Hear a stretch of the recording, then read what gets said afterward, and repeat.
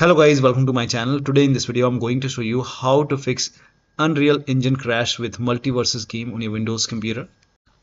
Now the first step is to restart Steam.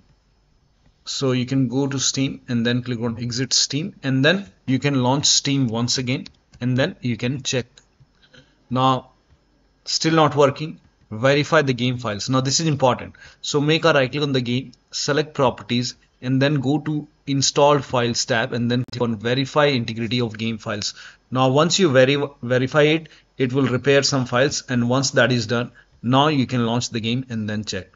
Next step is to restart your computer. Simply restart your computer once and after the system restart try launching the game. Next step is to allow the game exe file to antivirus program. So if you have any third-party antivirus just make sure that you allow the game exe file to antivirus program. If you're using windows security then open windows settings. Go to privacy and security if you have windows 11 if you have windows 10 you will have an option update and security. Now click on windows security. Now click on virus and threat protection Scroll down at the end you will see manage ransomware protection. Click on it. Now click on allow an app through controlled folder access. Click on yes to allow and then click on add an allowed app. Browse all apps. Now go to the game installation folder. So if the game is installed in C drive, open C drive, program files x86. Now open the Steam folder and then open the Steam apps folder and then open the common folder. Now over here open the game folder select the game exe file now click on open. Again click on add an allowed app and then click on browse all apps.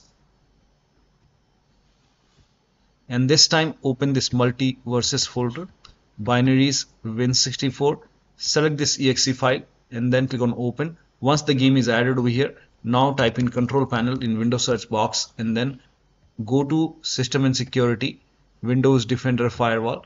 Click on allow an app or feature through Windows Defender Firewall. Click on change settings on the top and then click on allow another app. Click on browse and then again go to the game installation folder and then open the game folder. Select the game exe file and then click on open. Once the game is added, now click on add. In my case, the game is already added. Again, click on allow another app, browse and then open MultiVersus folder, binaries win64 select this exe file and then click on open and then click on add. Now once the game is added over here now click on ok on the bottom and then you can launch the game and then check. Now the next step is to run the game as an administrator from the game installation folder. So you can make a right click on the game select manage now click on browse local files. It will take you to the game installation folder make a right click on the game exe file and then select properties go to the second tab and then put a check on the box which says run this program as an administrator and then hit apply click on ok and then launch the game from here. So just make a double click and try launching the game from here. If that does not work again go to properties and then this time put a check over here. Select windows 8 hit apply click on ok make a double click launch the game. Still not working. Again go to properties and this time select windows 7 from the list select Windows 7 and then hit apply click on OK launch the game from here. Still not working. This time put a check on the box which says disabled full screen optimization and then hit apply click on OK and then make a double click launch the game. Still not working. Open this MultiVersus folder binaries win64 and do the same thing over here. Make a right click select properties and then put a check on run this program as an administrator hit apply click on OK make a double click launch the game. If that does not work again select window put a check over here select Windows 8 hit apply click on OK and then check. If that does not work select Windows 7 over here hit apply click on OK launch the game and then check. If that does not work put a check on disable full screen optimization and then hit apply click on OK and then launch the game from here. Still not working. So when you put a check on all these boxes still the game is not working. In that case you can uncheck these boxes. Hit apply click on ok and do the same thing with the first exe file. So go back and then make a right click on this exe file select properties and then uncheck all these boxes. So if if it's not working you can uncheck the and then follow the next step. Now the next step is to try DX12 or DX11 in launch option. So make a right click on the game, select properties, and then go to the launch option over here, and then type in dash DX12 and launch the game and then check. Now still not working. Again, make a right click and go to properties and then this time type in dash DX11 over here and then launch the game and then check. Now the next step is to no so when you type in dx11 or dx12 still the game is not launching. In that case you can remove this and follow the next step. Now the next step is to update windows to the latest version. Now this is important so go to windows update or update in security and then click on check for update. Once all the updates are installed then restart your computer and then launch the game Next is to perform a clean installation of your graphics driver. So if you have NVIDIA card, go to NVIDIA website. If you have AMD card, go to AMD website. I'm showing for NVIDIA. So go to NVIDIA website, select the right product type. For me, it's GeForce. So select your product type and then select your series. For me, it's 30 series. So make sure that you select your series over here and then select your graphic card. Make sure that you select your graphic card and if you have Windows 10 select Windows 10 if you have Windows 11 select Windows 11 then click on search and then click on download. Again click on download. And once the download is complete run this exe file. Now once you run the exe file you will see the screen. Click on agree and continue. And then put a check on custom. And then click on next. And then put a check on the box which says perform a clean installation so make sure that you put a check over here and then click on next and let the installation complete. Once the installation is complete restart your computer and then launch the game. Now the next step is to run the game on dedicated graphic card. Now for this type in graphics settings in windows search box and then click on graphics settings. Now click on browse over here and then go to the game installation folder. So if the game is installed in c drive open c drive program file 686 steam steam apps and then open the game folder select the game exe file now click on add. Now in my case the game is already added. Again click on browse and then open MultiVersus binaries win64 select this exe file and then click on add. Again the game is already added. So scroll down once the game is added you have to click on the game. So when you click on add you will see this. Now click on options and then select high performance over here and then click on save and then launch the game. Next step is to update BIOS to the latest version. So go to your system manufacturer website, select your model number, make sure that you select your computer and then find the latest BIOS update available and then install the latest BIOS. During the BIOS update, your system will restart. Do not unplug the power cable when it's updating the system BIOS. After the BIOS update, log into the computer and then launch the game. Also, in case of laptop, make sure battery is more than 10% and the AC adapter is connected to the computer. Next step is to disable Steam overlay. Now for this, make a right click on the game, select properties and then turn off the option which says enable the Steam overlay while in game. Also, if you have any other overlay application, like if you have Discord running or GeForce Experience, so if you have any other overlay application, close it and then launch the game. Next step is to run this command. These commands are provided in the video description. So type in CMD in Windows search box, make a right click on command prompt app and then click on run as administrator.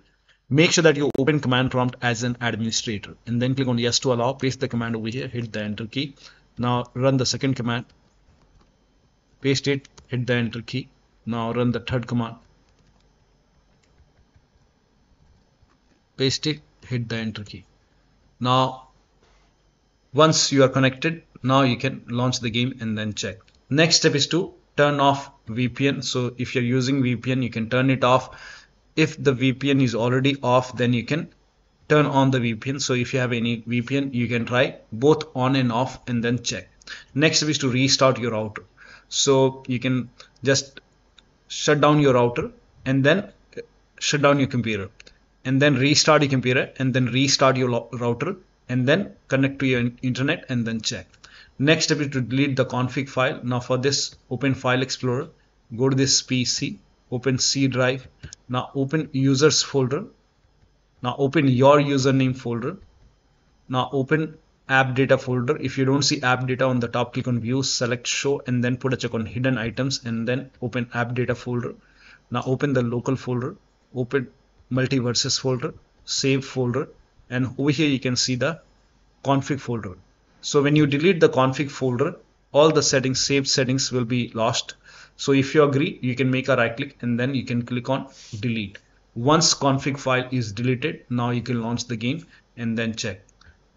Next step is to increase the virtual memory.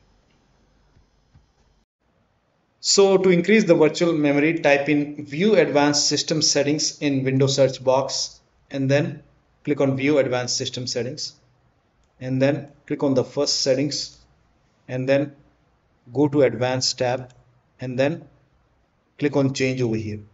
And then select the drive so uncheck the box which says automatically manage paging file size for all drives. Uncheck this box and select the drive where the game is installed. So select the drive and then once you select the right drive now put a check on custom size. And for initial size it's 1.5 into total RAM. So you can check the total RAM in Windows settings. You can go to system and then go to about and total RAM in my case is 16 gigabyte. So you can calculate accordingly. In my case it's 16 GB so I will calculate as per 16 GB so and first of all we have to convert 16 GB into megabyte. So we will open calculator. So type in calculator in run box and then click on ok. And over here uh, it's 16 1.5 into total RAM. Total RAM in my case it's 16 RAM 16 GB so 1 16 into 1024 1024 is actually 1 GB is equal to 1024 megabyte. So 16 GB in megabyte will be 16384 into 1.5 1.5 into total RAM. This is my total RAM in megabyte. Now 1.5 into total RAM total RAM that is into 1.5 so in my case initial size is 24576 24576 and maximum size is 3 into total RAM. Now total RAM in my case that is 16 gigabyte I have 16 gigabyte of RAM. So 16 into 1024 I have converted this in megabyte. Megabyte now that is 3 into total RAM. So total RAM is this much into 3 that is 49152 49152 4915 now click on set over here. Then click on ok. Ok apply. Ok ok. Now restart computer. Make sure that you restart your computer after this.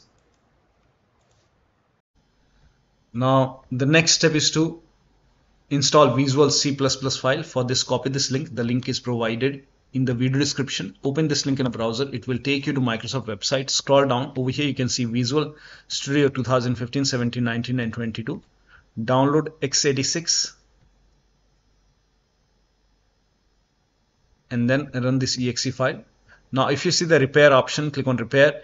You might see the install option. So if you see install click on install. If you see repair click on repair. Click on yes to allow. Now download x64 you have to download both x86 and x64 so click on this file and then once the download is complete run this exe file. Again if you see the repair option click on repair. If you see install option click on install. Now click on repair once again and click on yes to allow and let both the installation complete. Now once both the installation are complete then restart your computer. And after the system restart you can launch the game and then check. Now the next step is to unplug all the external devices which you're not, not using. So if you if these devices are connected you can disconnect these devices and then check. If you have any additional controller connected to the computer disconnected try launching the game on single monitor. If you have any third-party application or services running you can close it in the task manager. Also close all the overclocking application. so if you have MSI Afterburner Riva Tuner or any, any kind of overclocking application close it perform clean boot now for this type in system configuration in Windows search box and then click on system configuration and then go to the services tab and then put a check on the box which says hide all Microsoft services. Make sure that you put a check on hide all Microsoft services first and then click on disable all and then click on apply, click on OK. You will see a restart option, restart your computer and then launch the game. Also, if you have undervolted your computer, remove the undervolt and then launch the game. Next, the last step is to uninstall and reinstall the game to different drive. So, if nothing is working, you can simply make a right click on the game and then select manage, then click on uninstall now after the uninstall go to the game installation folder and then delete the game folder and then reinstall the game to C drive. So if the game is installed to D drive or E drive try installing the game to C drive and then check. If the game is already installed in C drive then you can try to install the game to another SSD and then check. So one of the steps shown in this video should help you to get the game running on your Windows computer. So that'll be all. Thank you so much for your time and please like this video and subscribe to my channel